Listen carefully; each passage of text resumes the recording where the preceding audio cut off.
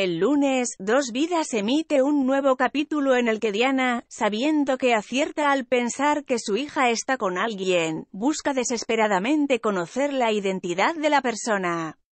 E intenta sobornar a Elena para que le confiese todo. En el pueblo siguen sufriendo extraños robos, todos creen que se trata de Eric pero lo cierto es que no hay ninguna prueba que lo implique.